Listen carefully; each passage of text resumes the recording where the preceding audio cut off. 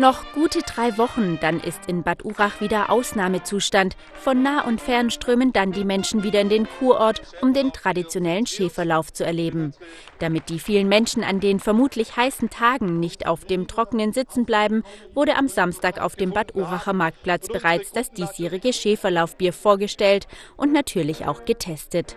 Durch den Fassanstich wurde die sogenannte Vorschäferlaufzeit damit offiziell eingeläutet.